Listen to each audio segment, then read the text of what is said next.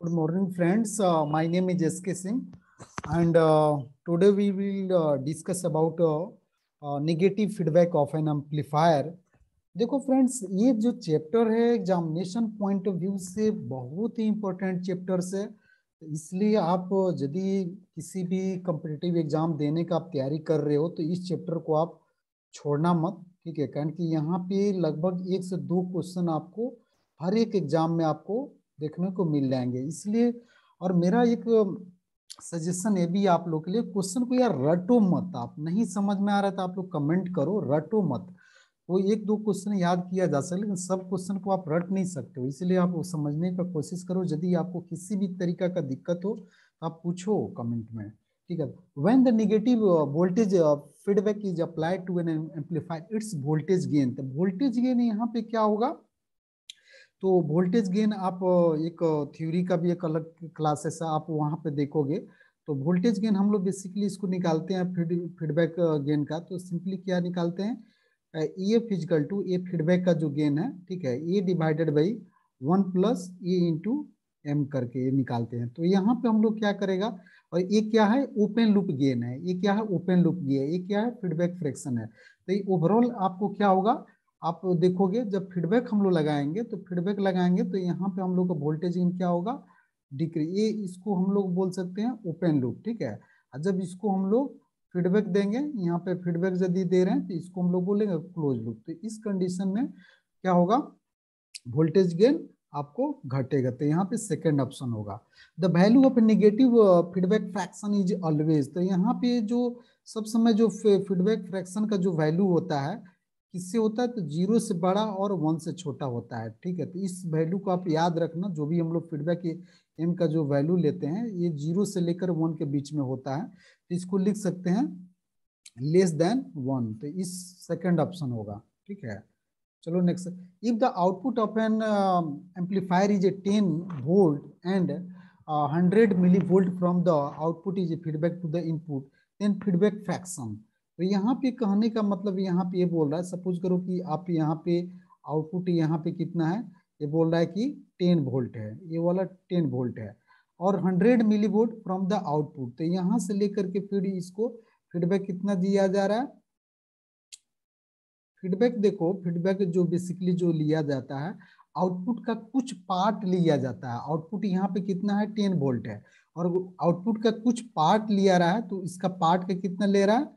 तो 100 milli volt ले रहा है, ठीक है? तो 100 मिली वोल्ट दे रहा है और इसको ला करके फिर हम लोग को क्या दे रहा है? इनपुट में ला करके इस फीडबैक को ला कर दे रहा है। तो क्वेश्चन यहाँ पे ये पूछ रहा है कि आपको फीडबैक फ्रैक्शन आपको निकालना है, ठीक है? तो फीडबैक फ्रैक्शन निकालने का जो हम लोग क्या करेंगे? तो फीडबैक फ्रैक्शन जो निकालेंगे एम एफ़ फ़िज़िकल टू निकालेंगे तो आउटपुट यहाँ पे कितना है? तो हंड्रेड, ठीक है? इसको देखो मिली वोल्ट में है तो कितना लिखेंगे? टेन के power minus three divided by कितना लिखेंगे? टेन। तो ये टेन टेन कैंसिल हो जाएगा तो कितना हो जाएगा? टेन के पावर माइनस टू। इसको लिख सकते हैं ज़ीरो पॉइंट ज़ीरो वन। इस कंडीशन में आपका कितना हो जाएगा? तीन ऑप्शन हो जाएगा। ठीक है? सॉरी स्केल कोई दूसरे कलर का है कि नहीं?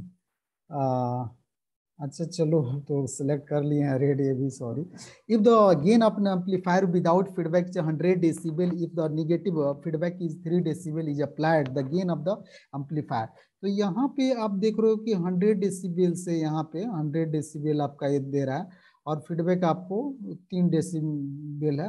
आपका विदाउट फीडबैक जो है, ये कितना आपका बोल रहा है? हंड्रेड डेसिबल बोल रहा है, ठीक है?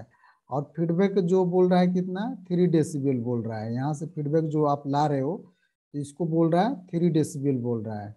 इसको थ्री डेसिबल। ठीक है?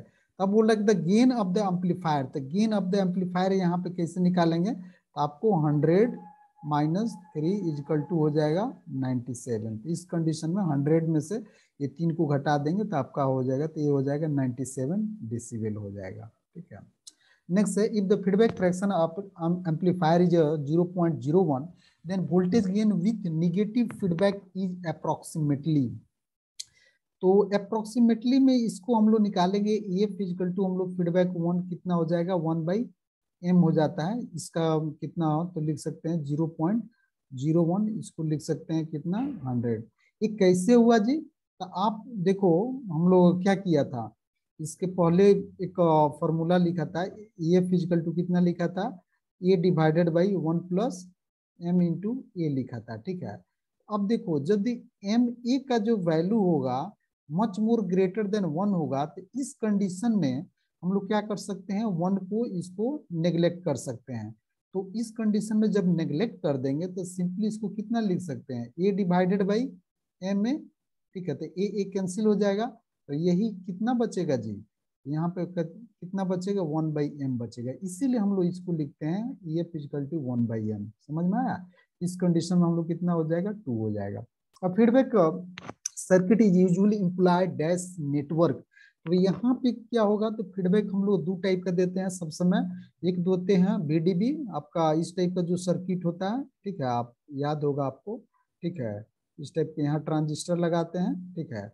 और ट्रांजिस्टर लगा करके यहाँ से आपका इस तरीका का जो सर्किट लगाते हैं ना जी बीडीबी तो इस टाइप का बाइसिंग दिया जाता है। इस टाइप का जो सर्किट दिया जाता है, या दूसरा आपको बेस रजिस्टर मेटल था। तो सब समय हम लोग क्या करते हैं? रजिस्टिव यूज़ करते हैं।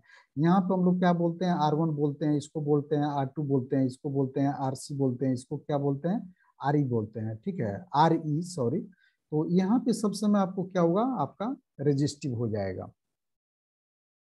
Again amplifier with feedback is known as तो यहाँ पे गेन सब समय हम लोग क्या किसको ले, लेते हैं? तो क्लोज लूप बनाते हैं। सब समय जो फीडबैक का बात करते हैं तो किसमें होता है? क्लोज लूप में होता है। When voltage feedback is applied to an amplifier its input impedance तो इनपुट इंपिडेंस का यदि बात करें आप थ्योरी में आप देख लेना मेरा एक वीडियो और भी है थ्योरी में। तो वहाँ पे हम लोग क्या करते हैं कि इनपुट इंपिडेंस जो निकालते हैं आ, किस किसमें? यहाँ पे इसको ध्यान रखना सब समय। वोल्टेज फीडबैक है और क्या है? निगेटिव है। तो यहाँ पे इसका जो फॉर्मूला होता है Z equal to Z into one plus M into ये करके फॉर्मूला होता है। तो इस समय में सब समय क्या होगा? आपको इंक्रीज करेगा। Next question when a current feedback is applied to an amplifier its input impedance तो यहाँ पे क्या होगा? इसका जस्ट अपोजिट होता है। तो आप याद रखो यहाँ पे इनपुट इंपिडेंस निकालेंगे करंट के केस में तो यहाँ पर हम लोग लिखे Z one plus M into A लिखते हैं। तो ये जस्ट उसका अपोजिट होता है। देखो, वहाँ पे क्या था? वोल्टेज फीडबैक करता है। यहाँ पे है करंट है तो इसका जस्ट अपोजिट मारेंगे तो यहाँ पे क्या हो जाएगा? आपका डिक्रीज हाँ इनपुट तो यहाँ पे क्या होगा? डिक्रीज होगा।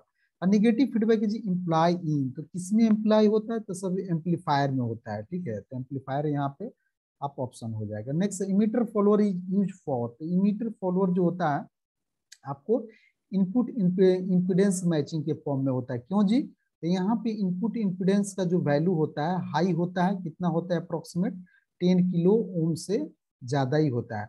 और आउटपुट इम्पिडेंस का जो वैल्यू होता है, इसका वैल्यू लगभग टेन ओम होता है। और इसका जो वोल्टेज गेन होता है अप्रोक्सीमेटली वन के बराबर होते हैं। ये जो करेक्टरिस्टिक होता है, जिसके चलते हम लोग इसको impedance matching impedance matching impedance matching का एक सबसे बेस्ट एग्ज़ाम्पल क्या होता है? ट्रांसफॉर्मर होता है। ट्रांसफॉर्मर ठीक है? ट्रांसफॉर्मर का जो होता है इनपुट इम्पिडेंस काफ़ी हाई होता है, इसलिए हम लोग इसको इम्पिडेंस मैचिंग का best example the voltage gain of amplifier follower is तो यहाँ पे अप्रोक्सीमेटली कितना होता है वोल्टेज अभी आपको बताया वोल्टेज गेन सबसे में कितना होता है? वन होता है। तो यहाँ पे आप मार सकते हैं approximately equal to one when current feedback is applied to an amplifier, its output impedance, the output impedance, अब देखो, आप यहाँ पे यदि वोल्टेज रहता वोल्टेज रहता है यहाँ पे ये वाला तो यहाँ पे आउटपुट इम्पिडेंस क्या होता है? घटता, लेकिन इस केस में उल्टा होता है तो यहाँ पे इसको क्या मारेंगे?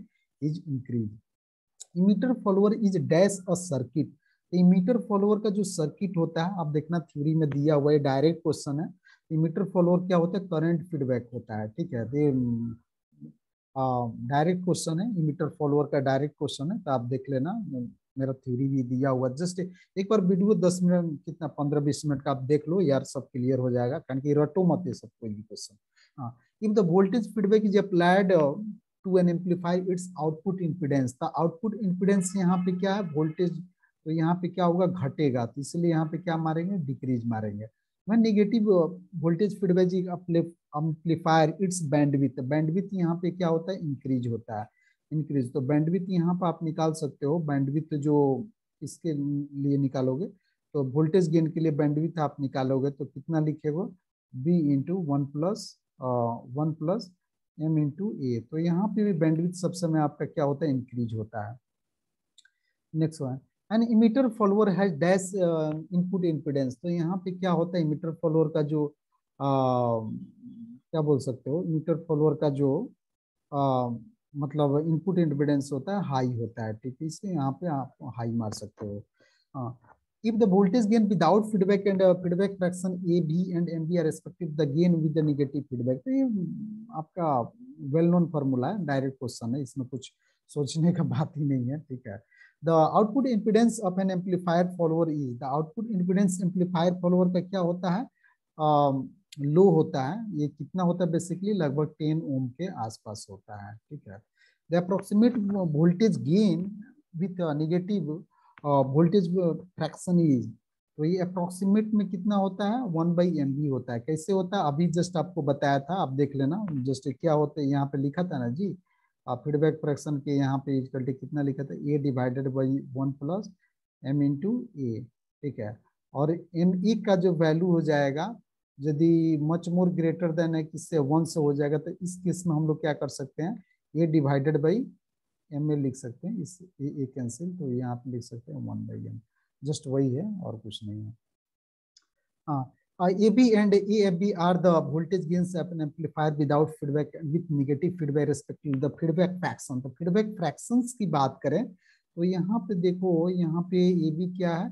आपका वोल्टेज गेन है विदाउट फीडबैक का। ये जो है विदाउट फीडबैक का ये है ये फीडबैक का है। तो यहाँ पे फीडबैक फ्रैक्शन का यदि बात करें फीडबैक फ्रैक्शन तो फीडबैक फ्रैक्शन सब समय हम लोग लिखेंगे फीडबैक फ्रैक्शन की बात करें तो gain with fraction minus gain with without fraction. तो इस केस में यदि हम देखें तो कितना लिख सकते हैं? One divided by A F B minus one divided by sorry, यहाँ पे ये वाला पोर्शन होगा, ठीक है? वन हाँ।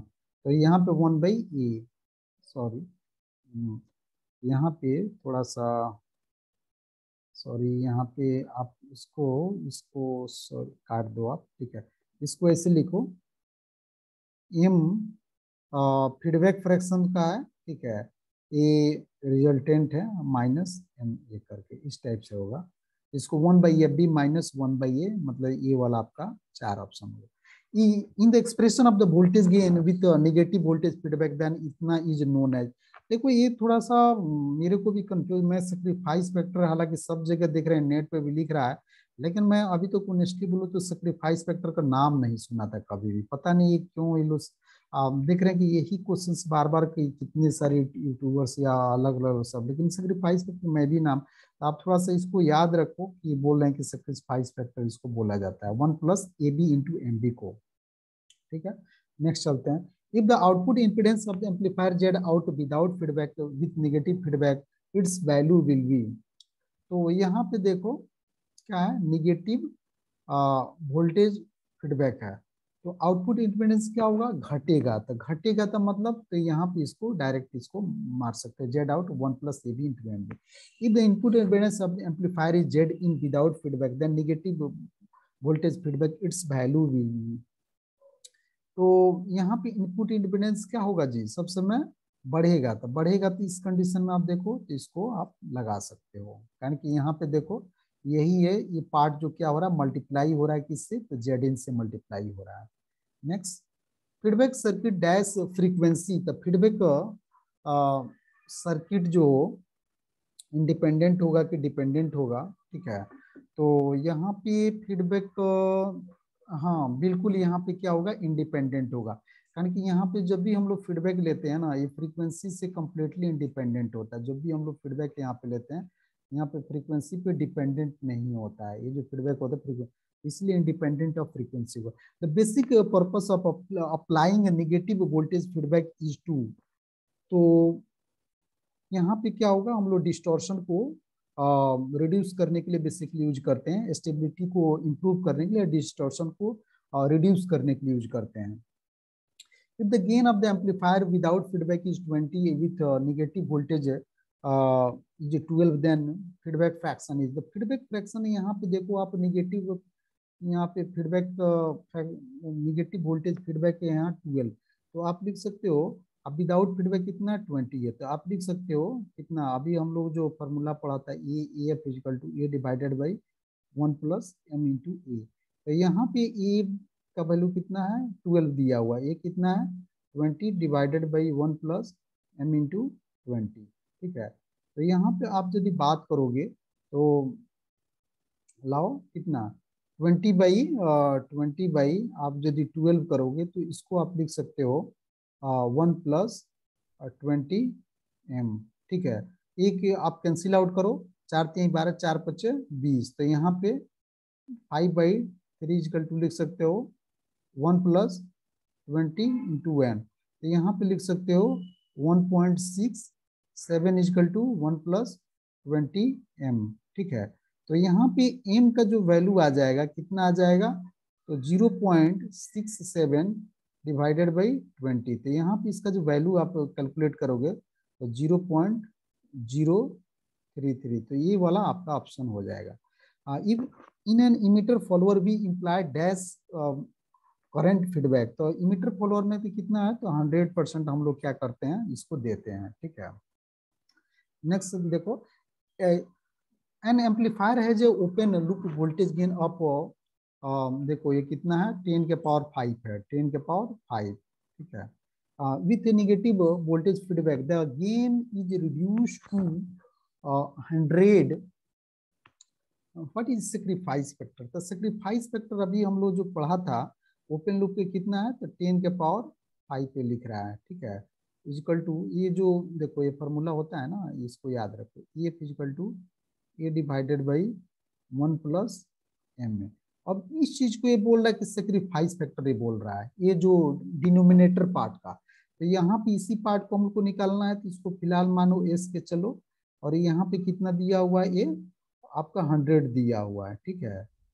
तो एस इजिकल टू कितना लिख सकते हो? टेन के power five divided by hundred मतलब लिख सकते हो टेन के पावर थ्री तो ये कितना हो जाएगा आपका? टेन के पावर थ्री मतलब ये ऑप्शन हो जाएगा। In the above question what will be happen to circuit performance तो सर्किट परफॉर्मेंस होगा distortion is increase by thousand times input decrease by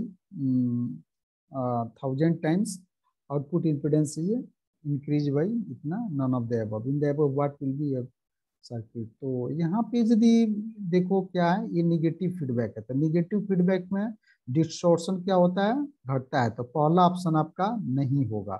और उसके बाद से इनपुट इम्पिडेंस क्या होता है? बढ़ता है, ठीक है? यही आपका ठीक है ठीक है। अब तीसरा आउटपुट इम्पिडेंस क्या होता है? घटता है तो ये भी ऑप्शन नहीं हुआ। तो यहाँ पे करेक्ट ऑप्शन आपका कितना हो जाएगा? सेकंड हो जाएगा। Next in an non linear distortion of amplifier is D without feedback the amplifier has an open loop voltage gain A B and feedback fraction M B with negative voltage feedback, then non-linear distortion. तो non-linear distortion में क्या होता है? सबसे मैं आपको यहाँ पे सबसे में हम लोग क्या देखेंगे कि निगेटिव वोल्टेज फीडबैक में आपका डिस्टोर्शन क्या होता है? घटता है। तो इस केस में हम लोग लिख सकते हैं D into one minus A B यदि यहाँ पे प्लस हो जाता है तो क्या होता है? डिस्टोर्शन बढ़ता है। लेकिन निगेटिव वोल्टेज फ़ील्ड में डिस्टोर्शन क्या होता है? घटता है। ठीक है? इस केस में हो जाएगा D into one minus A B into M B इस फॉर्मूला याद रखो। The output and input voltage of emitter follower have a phase difference देखो, आप यहाँ पे देख रहे हो थोड़ा सा मेरे को भी थोड़ा सा कंफ्यूजन है। तो यहाँ पे आपका देख रहा है कि बोल रहा है कि मीटर फॉलोअर का जो है फ़ेज़ डिफरेंस कितना है? टू सेवेंटी है। तो थोड़ा सा इस चीज़ को थोड़ा सा याद ये करो फ़िलहाल सा। हम लोग फिर थोड़ा सा वैलिड रीजन जब पता चल जाएगा तो हम लोग इसको देख लें। थर्टी टू नेक्स्ट है it is the most necessary to control signal to noise ratio at तो नॉइज़ रेशियो को यदि कंट्रोल करने का सपोज़ करो कि आप यहाँ पे सिग्नल दे दिए, ठीक है? सिग्नल दे दिए यहाँ पे आपको आउटपुट मिल गया। तो यहाँ पे जब आप सिग्नल दे दिए तो सिग्नल में बहुत सारे डिस्टरबेंस भी होता है। यदि डिस्टरबेंस होगा तो यहाँ पे आउटपुट पे भी मिलेगा ना? तो इस कंडीशन में हम लोग क्या करते हैं? कि यहीं पे हम लोग इसको कंट्रोल कर सकते हैं, ठीक है? कहाँ कर सकते हैं? यहीं पे, ठीक है? तो कैसे करेंगे? तो यहाँ पे बोला कि आउटपुट का कुछ पार्ट जो है, ठीक है? आउटपुट का कुछ पार्ट ला करके यदि इनपुट में हम फिर दे देंगे तो फीडबैक के तरीका पे ला कर फिर हम लोग इसको कंट्रोल कर दे रेक्टिफाई करेंगे। तो यहाँ पे सबसे पहले हम लोग क्या करते हैं? इनिशियल स्टेज पे ही करते हैं। In order to obtain good uh, gain stability in a negative voltage um, feedback amplifier the ab voltage gain without feedback amplifier fraction ये सब समय आपको बताया था कि m into a का मच मोर ग्रेटर देन कितना है? वन तो इस सब समय आप इसको मार सकते हो ठीक है? Next question next emitter follower is also known as तो emitter follower is also known तो यहाँ पे क्या हम बोल सकते हैं? ग्राउंड पहला ऑप्शन क्या है? पहला ऑप्शन आपका ग्राउंड ग्राउंडेड इमीटर सर्किट दूसरा ऑप्शन आपका क्या है? ग्राउंडेड बेस सर्किट और तीसरा ऑप्शन क्या है? आपका ग्राउंडेड कलेक्टर सर्किट तो ग्राउंडेड कलेक्टर सर्किट बेसिकली क्या होता है? इसमें आप यदि कॉन्फ़िगरेशन आप समझोगे तो इसमें ग्राउंड इस टेक कॉन्फ़िगरेशन होता है, ठीक है? यदि इमीटर फॉलोअर के यहाँ, ये वाला पार्ट पूरा ब्लैंक रहता है, यहाँ पे कुछ नहीं रहता है, ठीक है? तो यहाँ पे हम लोग क्या करते हैं इसको ला करके इसको इमीटर से कनेक्ट करते हैं यहाँ पे ला सॉरी यहाँ पे ला कर फीडबैक देते हैं यहाँ पे फिर रेजिस्टेंस होता है यहाँ पे ए रेजिस्टेंस होता है यहाँ पे ला करके इस टाइप से होता है ठीक है तो यहाँ पे मतलब ये पार्ट जो होता है ग्राउंडेड कलेक्टर वाला पार्ट यहाँ पे ला करके ग्राउंडेड होता है ये वाला पार्ट यहाँ पे क्या होता है ब्लैंक होता है इमीटर फॉलोअर में इमीटर फॉलोअर में यहाँ पे हम लोग बोलते हैं ग्राउंडेड कलेक्टर सर्किट आप बोल सकते हैं। ये वाला पार्ट क्या होता है? नहीं होता है यहाँ पे। और ये यहाँ पे आप आर वन लिख सकते हो आर टू और यहाँ पे आर ई आर ई ठीक है? तो इस टाइप का सर्किट होता है, ठीक है? यहाँ पे फिर सी रहता है यहाँ पे। तो ये वाला पार्ट जो होता है ग्राउंडेड होता है। कलेक्टर पार्ट जो होता है ग्राउंडेड होता है, ठीक है? तो इसलिए इसको कलेक्टर पार्ट ग्राउंडेड तो यहाँ पे हम लोग ग्राउंडेड कलेक्टर सर्किट लिख सकते हैं। Guys if you like my channel please subscribe and I will bring some good information for your competitive examination particularly electronics examination तो thank you guys for your kind attention thank you